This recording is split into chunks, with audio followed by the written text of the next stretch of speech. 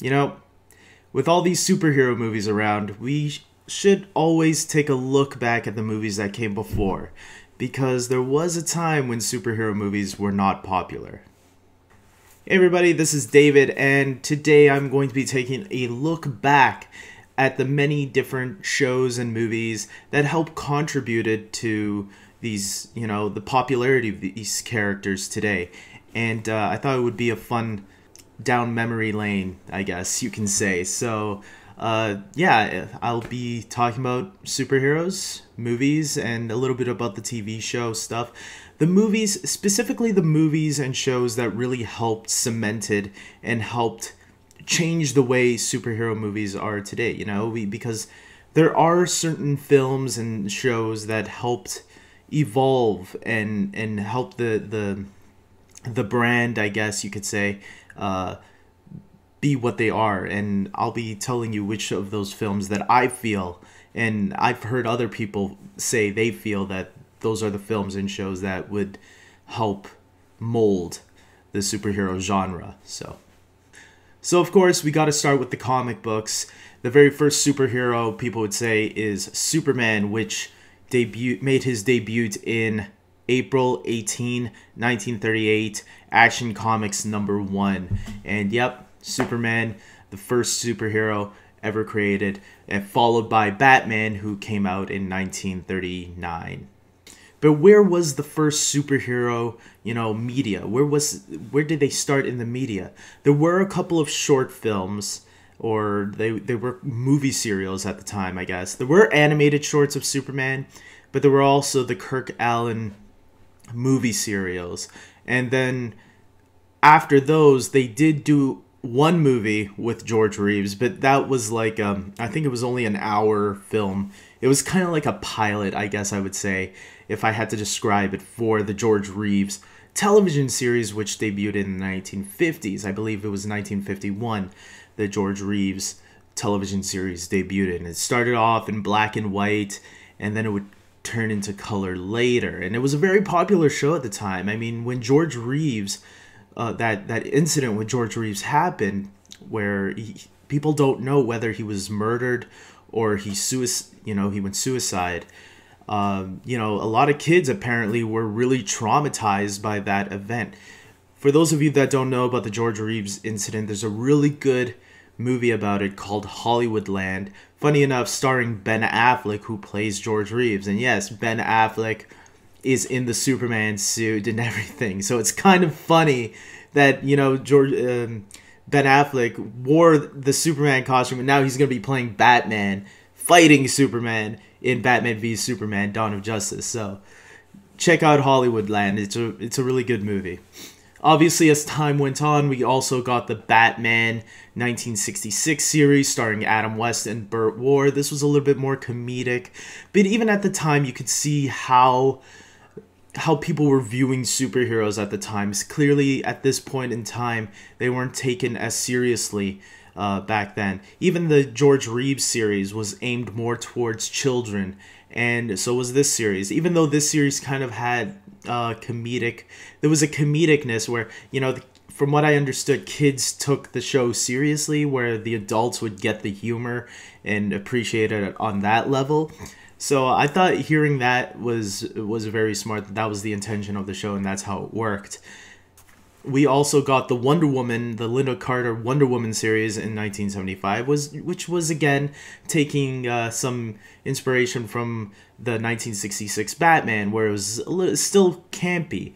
It was really until 1978's Superman the movie, where starring Christopher Reeve. That's the one where these superhero films were being treated more seriously. Yes, it was a little campy at times, but they they treated the source material with a little bit more respect. If you really watch the first and second act of Superman the movie where, you know, the Krypton stuff and the the stuff on Smallville, a lot of that stuff is treated pretty seriously. There's some dramatic moments in a lot of those scenes.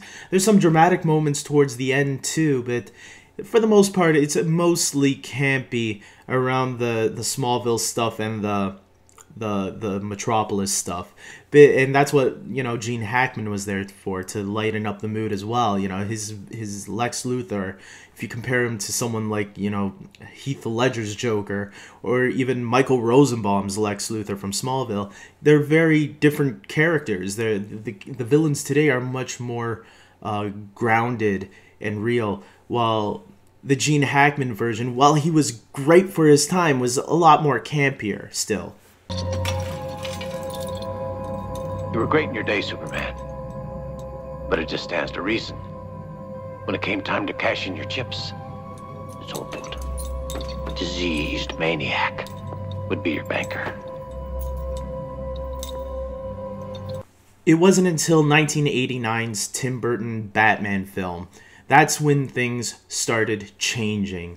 Things started getting a little bit more darker because Tim Burton took inspiration from Frank Miller's The Dark Knight Returns. That's when, in comic books in the early 1980s, when uh, you know comics were starting to take a darker, more adult turn uh, to themselves, and the the idea of the 1989 Batman film was that it was going to take inspiration from that and make it was going to be the first superhero movie that you know started taking darker. And there were a lot of shows at the time and other movies that tried to capture what uh, the tim burton movies were doing but they failed at it. You know not a lot of them were succeeding. Uh, a lot of people would say the 1990 uh, teenage mutant ninja turtles uh, you know they got the right tone for themselves too there but uh, yeah, Batman. Nothing was as big as the 1989 Batman movie at the time. That was like some people even consider it the first big blockbuster in Hollywood, and that's what started the trend of like releasing all these blockbusters every summer. Oh. Oh. You killed my parents. What? Huh. what are you talking about? I made you me first. Hey, that Ray. I mean, I was a kid when I killed your parents. I mean, I say I made you, you gotta say you made me. And how childish can you get, huh? You wouldn't hit a guy with glasses on, would you? Huh? Obviously, by that time, also, we had Batman the Animated Series, which was kind of influenced by the, the Tim Burton Batman franchise. The but um, a lot of people I've noticed will say that they think Batman the Animated Series is actually even better better than the Tim Burton movies. So I I don't know. I've seen some people say that some you know, and I can see why. I mean, their their their stories are really grounded too. And even though the sh- the show was aimed towards kids, there's a lot of adult themes there that like might surprise people. The show has gone on to spin off many other shows such as Superman the animated series, Batman Beyond and Justice League Unlimited. Also at the time superhero shows it seemed like Superman was the only one that was really having success on the small screen because uh, they had a four season show of Superboy which uh, yeah lasted four seasons, but was only canceled because the creators lost the rights to the to the Superman character, and Warner Brothers created Lois and Clark: The New Adventures of Superman, starring Dean Cain and Teri Hatcher, which lasted for four seasons. By the fourth season, though, it started lo- losing ratings, and uh, that's that by the end of the 90s, superhero movies were already dying. We had just gotten Batman Forever in 1995, starring Jim Carrey, Val Kilmer, Chris O'Donnell, Tommy Lee Jones, and Nicole Kidman. But it was really 1997 that saw the death of superhero movies, and that was with Batman and Robin, starring George Clooney, Alicia Silverstone, and Chris O'Donnell, as well as Arnold Schwarzenegger and Uma Thurman. And uh, we also got Steel with Shaquille O'Neal. And yeah, this was a dark time, a lot of superhero fans would say, comic book fans or superhero fans in general. Even though there were still some superhero comic, a lot of them were failing miserably.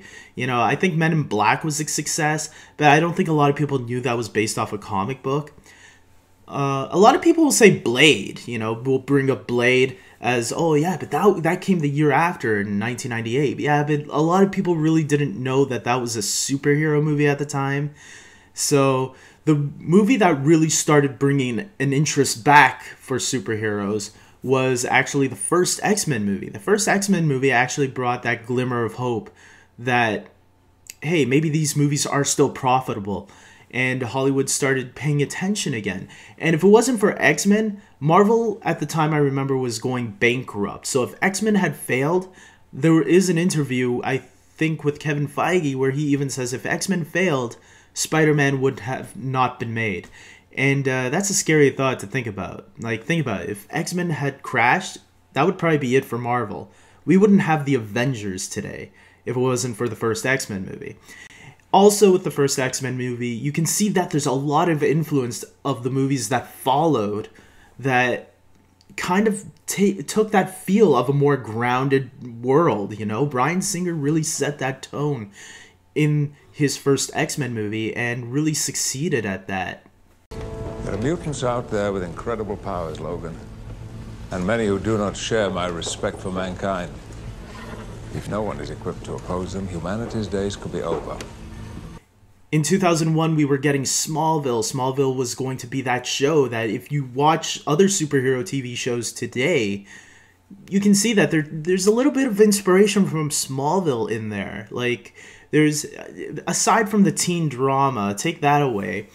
It's also the superhero drama aspect of the show and how a show can go on because by season 8, 9 and 10, Smallville had started introducing this whole not just a Superman universe because at that time you know superhero tv shows and movies all were all self-contained. They didn't have other heroes joining you know the universe. That was only for the animated stuff. By this by by season four actually of smallville is where they started introducing other dc characters. That's where the flash came in.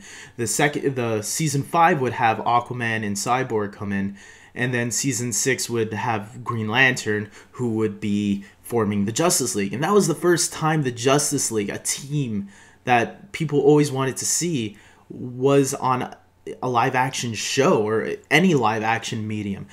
As superhero television was getting a little bit better, superhero movies were getting even more better. We because by 2002 we got the first Spider-Man movie which grossed a lot of money. At the time, Spider-Man was the highest grossing film uh, superhero film, sorry, ever made, and uh, that was that was a huge accomplishment at this time, and that really you know turned that really started the craze. If Spider-Man wasn't a huge success, I don't think we would see the craze that fast yet, but because it was, right after that we got movie like three sometimes four movies of uh, superheroes a year and that was really insane Obviously, X Men 2, which came out the year after, and Spider Man 2, which came out the year after that, you know, they were also huge successes, not just with money, but also critically. A lot of critics were loving X Men 2 and Spider Man 2, and that was when superhero sequels were, you know, say, people were saying, wow, this is actually better than the original. X Men 2 and Spider Man 2 are one of those films that people hold even higher than the original, which is amazing at the time. No one thought that was even possible because Batman Returns, it was okay, but it wasn't that great. Then you got Superman 2, which was, yeah, Superman 2 maybe a little bit. A lot of people like the Donner cut of that version more. But yeah, X Men 2 and, and Spider Man 2 really showed people that, wow, we now after you do the origin, you can really go all, all out with it.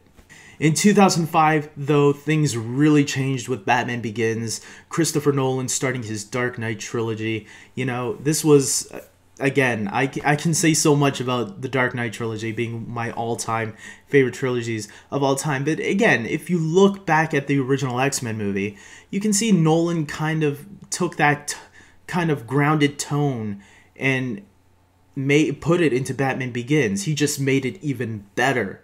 So Batman Begins didn't really change the landscape, but it did improve on it. What about escalation?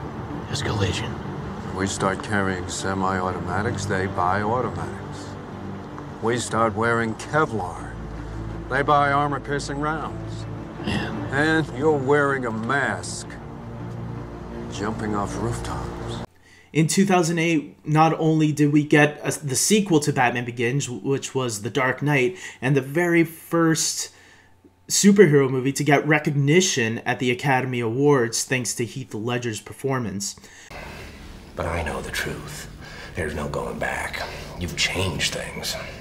Forever. Then why do you want to kill me? I don't want to kill you. What would I do without you? Go back to ripping off mob dealers? No, no. No. No, you. You complete me. But we also got the first Iron Man movie, which was the beginning of a whole new era of ideas and where the superhero genre can go. And what do I mean by that? Marvel, unlike any other studio, was going to accomplish something that no other studio had ever tried before start to connect their films together to create a whole universe of films. So, starting with Iron Man, we had also gotten The Incredible Hulk that year, which, in my opinion, was the much better Hulk movie. Then we also got Iron Man 2 in 2010. In 2011, we got Thor and Captain America, the first Avenger, all leading up to 2012's The Avengers, one of the most successful films of all time, and right now even beating all the Spider Man movies as the fourth highest grossing film of all time worldwide.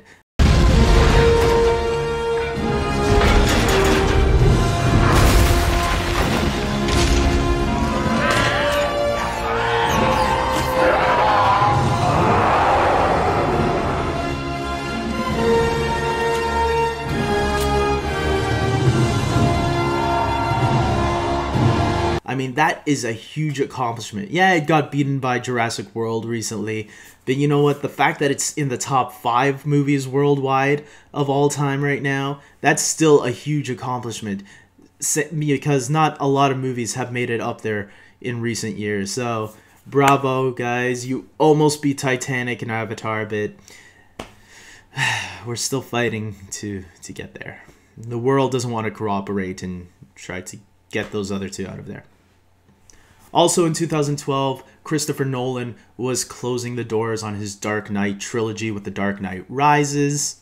So this led people to believe like where was DC going to go? Because Green Lantern, which had come out the year before in 2011, had failed in the box office. And that was supposed to be DC's attempt at creating their own cinematic universe. Because they got wind that that's what they got the idea that Marvel was doing that. So they wanted to create their own cinematic universe too, starting with Green Lantern. So Green Lantern was going to be their Iron Man, and that fell flat on their faces. So so what were they going to do? Well, not to fret, DC, despite not doing so great on the big screen, was having actually a lot of success on the small screen with after the success of Smallville lasting 10 seasons, they had started Arrow in 2012 which was a good success, which was a great start with good reviews.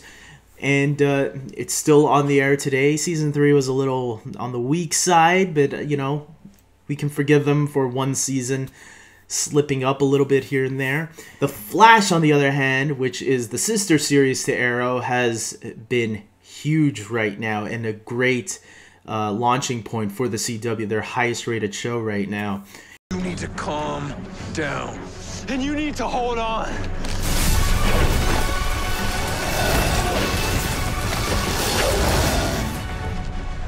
I just hope they can turn Barry back before he kills Oliver. Me, I'll be more worried about what Oliver might have to do to Barry.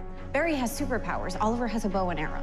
Do you have any idea how many people Oliver has killed with that bow and arrow? Recurve bow arrows can travel up to 300 feet per second, so like 200 miles an hour. Barry can run three times that fast. Whatever. Oliver's been doing this a lot longer. My money's on experience. My money's on speed. Please tell me you're not actually having this conversation right now. And uh, it's also launching all these other shows, such as Agents of S.H.I.E.L.D., Agent Carter, and Netflix's Daredevil series, another high breaking uh, series on Netflix. So back on the big screen, we got Man of Steel now, the newest DC film to start this whole new cinematic universe. And Man of Steel, Even though it wasn't a critical success, it was a financial success and a good launching point for DC to continue their films.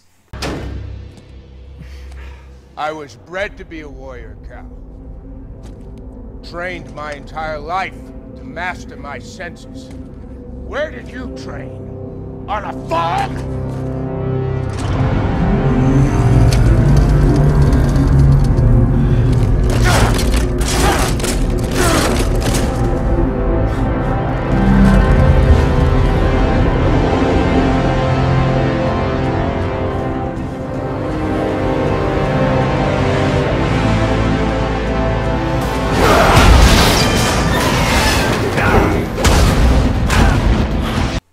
With all that being said, guys, it looks like these are kind of the films that are forming the way we're looking at superhero films going down the future, you know? And we got some great movies last year, such as Captain America the Winter Soldier, Guardians of the Galaxy, and X Men Days of Future Past. This year we just got Avengers Age of Ultron, Ant Man, and there's still so many more to come, guys. I mean, with the success that Marvel's been having with their Marvel Cinematic Universe, and we also got Batman v Superman coming out next year, as well as Suicide Squad, Captain America Civil War. That's going to be the movie that's going to introduce Spider Man to the Marvel Cinematic Universe.